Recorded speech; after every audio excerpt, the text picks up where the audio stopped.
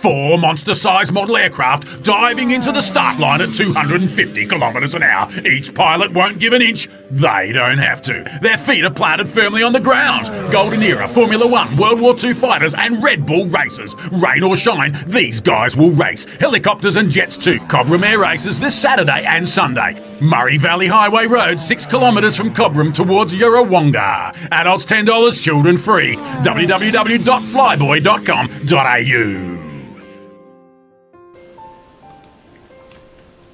G'day, that promo was an event I did back in 2012 and the event for a two-day competition it, it made a net profit of 10 grand for the club. The year before it made 7,000 and the aim of this video, also the aim of this RCM News Racing video channel and also RCM News magazine is to recreate that somewhere else in Victoria. We're going to try and do one event next year. We'll see what happens with New South Wales, whether that can get their shit together. If not, I think we can probably get two events going in Melbourne. It's going to be the same format as the Sandown thing, basically, where racing is used as uh, the highlight of it, really.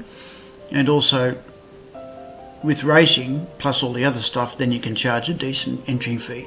Give people some value for money. So that's what it's about, really.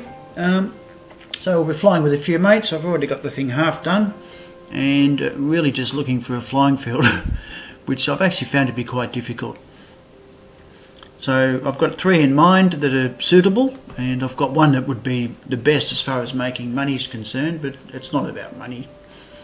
Certainly I've learnt that all the old buggers running clubs tend to shit themselves when you talk about that money because the field's going to get flooded by new members which is ridiculous really air shows just give a bit of a drip feed of new people that wander in over the next six months. Anyway, so that's what it's about. So, uh, uh, yeah, we're sort of, well, not good to go. We've got all the rules and all that sort of stuff in place. We just need to find a flying field.